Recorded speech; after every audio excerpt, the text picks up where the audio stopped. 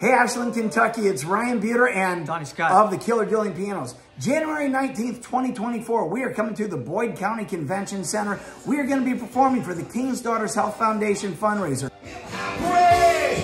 Ho! Hey! There are sponsor tables and tickets available. All proceeds will go to benefit the King's Daughters Health Foundation. Contact Laura Patrick for more info. There's going to be food, drinks. It's going to be a great time and all for a good cause. So, folks, come on out and party with the Killer Dueling Pianos January 19th. We'll see you there, Ashland.